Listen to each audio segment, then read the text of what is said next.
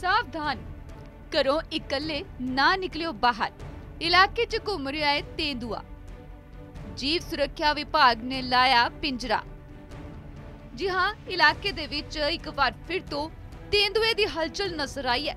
ਸੜਕ ਦੇ ਕੰਢੇ ਝਾੜੀਆਂ 'ਚ ਬੈਠਾ ਇਹ ਤੇਂਦੂਆ ਦਿਖਿਆ, ਜਿਸ ਤੋਂ ਬਾਅਦ ਜੀਵ ਵਿਭਾਗ ਦੇ ਵੱਲੋਂ ਹੁਣ ਝਾੜੀਆਂ ਦੇ ਵਿੱਚ ਪਿੰਜਰਾ ਲਗਾਇਆ ਗਿਆ ਹੈ। ਉਹ ਵੀ ਸ਼ਿਕਾਰ ਰੱਖ ਕੇ ਅਤੇ ਇੰਤਜ਼ਾਰ ਕੀਤਾ ਜਾ ਰਿਹਾ ਹੈ ਤੇਂਦੂਏ ਦਾ। ਜੀਵ ਵਿਭਾਗ ਦਾ ਕਹਿਣਾ ਹੈ ਕਿ ਜਦੋਂ ਵੀ ਜੰਗਲਾਂ ਦੇ ਵਿੱਚ ਛੇੜਛਾੜ ਹੁੰਦੀ ਹੈ, ਤਾਂ ਫਿਰ ਜੰਗਲੀ ਜਾਨਵਰ ਵੀ ਆਬਾਦੀ ਵਾਲੇ ਪਾਸੇ ਨੂੰ ਰੁਖ ਕਰ ਲੈਂਦੇ ਨੇ। ਤੇ ਹੁਣ ਇਲਾਕਿਆਂ ਦੇ ਵਿੱਚ ਇਹ ਜੰਗਲੀ ਖੂੰਖਾਰ ਜਾਨਵਰ ਆਮ ਘੁੰਮਦੇ ਨਜ਼ਰ ਆਉਂਦੇ ਨੇ। ਤੇਂਦੂਏ ਦੀ ਗੱਲ ਕਰੀਏ ਤਾਂ ਹੁਣ ਤੱਕ ਕਈ ਥਾਵਾਂ ਤੇ ਤੇਂਦੂਆ ਦੇਖਿਆ ਗਿਆ ਹੈ। ਤੇਂਦੂਏ ਦੀ ਦਹਿਸ਼ਤ ਵੀ ਹੈ।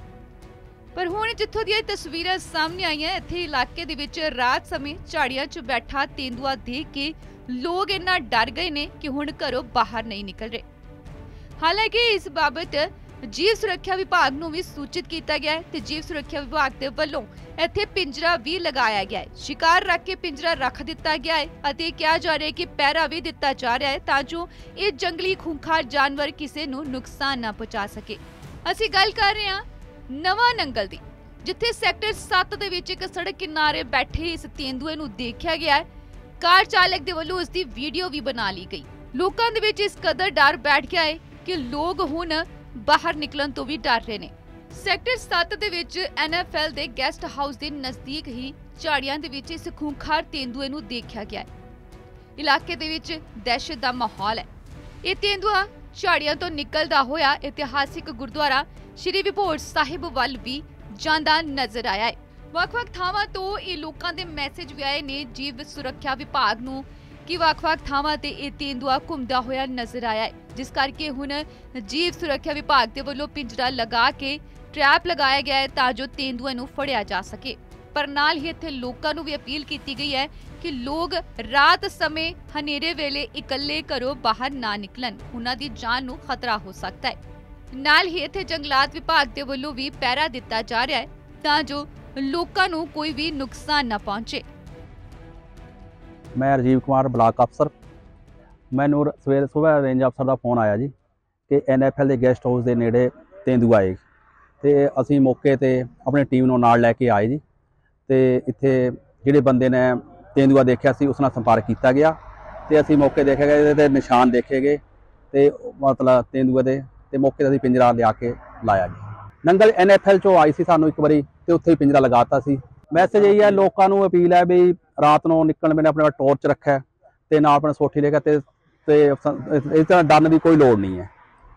ਤੇ ਅਸੀਂ ਸਾਡੀ ਰਾਤ ਨੂੰ ਵੀ ਗਸ਼ਤ ਜਾਰੀ ਹੈ ਜੀ, ਪੂਰੀ ਸਾਡੀ ਟੀਮ ਇਹਦੀ ਗਸ਼ਤ ਕਰ ਰਹੀ ਹੈ ਮੇਰਾ ਨਾਮ ਸ਼ਾਮ ਸਿੰਘ ਹੈ ਜੀ। ਹੰਡੋਲਾ ਮੇਰਾ ਪਿੰਡ ਹੈ। ਸਵੇਰੇ ਅਸੀਂ ਜਨ ਸ਼ਤਾਬਦੀ ਦੇ ਵਿੱਚ ਬੇਟੇ ਨੂੰ ਚੜਾਉਣ ਲਈ ਮੈਂ ਇੱਕ ਮੇਰੇ ਨਾਲ ਦੋਸਤ ਸੀਗੇ ਪਿੰਡ ਤੋਂ, ਉਹਨਾਂ ਨੂੰ ਲੈ ਕੇ ਅਸੀਂ ਗਏ ਸੀ। ਜਦੋਂ ਵਾਪਸੀ ਮੈਂ ਆਇਆ ਬੇਟੇ ਨੂੰ ਗੱਡੀ ਤੋਂ ਟ੍ਰੇਨ ਬਿਠਾਉਣ ਤੋਂ ਬਾਅਦ, ਤੇ ਜਦ ਮੇਰੀ ਨਜ਼ਰ ਇੱਕਦਮ ਕ੍ਰਾਸ ਕਰਦੇ ਹੋਏ ਇਹਦੇ ਤੇ ਪਈ ਤੇਂਦੂਏ ਤੇ। ਅਸੀਂ ਅੱਗੇ ਜਾ ਕੇ ਫਿਰ ਗੱਡੀ ਮੋੜ ਕੇ ਲਿਆਏ। ਗੱਡੀ ਮੋੜ ਕੇ ਅਸੀਂ ਤੇ ਸਾਹਮਣੇ ਖੜੀ ਕੀਤੀ ਹੈ, ਜਿਸ ਸਪੋਰਟ ਤੇ ਅਸੀਂ ਖੜੇ ਹੋਏ ਹਾਂ।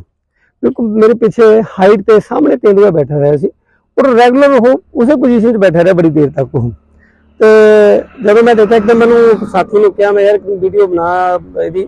ਤੇ ਆਪਾਂ ਫਿਰ ਕਿਸੇ ਨੂੰ ਮੈਂ ਦੱਸਦਾ ਤਾਂ ਕਿ ਹੋਰ ਜਿਹੜੇ ਆਉਣ ਜਾਣ ਵਾਲੇ ਬੰਦੇ ਆ, ਉਹਨਾਂ ਨੂੰ ਪਤਾ ਲੱਗੇ ਕਿ ਕਿਸੇ ਤੇ ਕੋਈ ਅਟੈਕ ਨਾ ਕਰੇ, ਕੋਈ ਪ੍ਰੋਬਲਮ ਨਾ ਆਵੇ ਇਹਨੂੰ ਕਿਸੇ ਆਮ ਨਾਗਰਿਕ ਇਸ ਵੀਡੀਓ ਨੂੰ ਬਣਾਉਣ ਦਾ ਮਕਸਦ ਇੱਕ ਹੋਰ ਵੀ ਸੀਗਾ ਵੀ ਜਿੱਦਾਂ ਸਾਡੇ ਲੋਕਲ ਜਿਹੜੇ ਲੋਕ ਹੈਗੇ ਨੇ, ਕਿਉਂਕਿ ਮੈਂ ਇਸ ਰਸਤੇ ਤੋਂ ਰੋਜ਼ ਅਪ ਡਾਊਨ ਕਰਦਾ ਜਾਂਦਾ ਮੈਂ। ਮੈਂ ਮੋਹਾਲੀ ਜਾਂਦਾ, ਮੋਹਾਲੀ ਤੋਂ ਮੈਂ ਡੇਲੀ ਵਾਪਸ ਆਉਂਦਾ।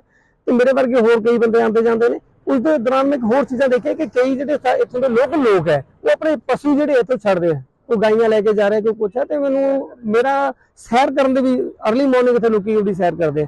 ਤੇ ਉਹਦਾ ਮਕਸਦ ਇਹ ਸੀਗਾ, ਉਸ ਵੀਡੀਓ ਨੂੰ ਜਿਹੜਾ ਮੈਂ ਪ੍ਰੈਸ ਨੂੰ ਵੀ ਭੇਜਿਆ, ਉਹਦਾ ਕਾਰਨ ਇਹ ਸੀ ਕਿ ਸਾਰੇ ਲੋਕੀ ਅਵੇਅਰ ਹੋਣ ਤਾਂ ਕਿ ਕਿਸੇ ਦਾ ਕੋਈ ਜਾਨੀ ਨੁਕਸਾਨ ਨਾ ਹੋਵੇ, ਜਾਨੀ ਮਾਲ ਦਾ। ਸੋ ਇਹਦੇ 'ਚ ਕੋਈ ਹੋਰ ਪਰਪਸ ਨਹੀਂ ਸੀਗਾ ਕਿ ਅਸੀਂ ਕਿਸੇ ਨੂੰ ਕੁਝ ਹੋਰ ਦਿਖਾਈਏ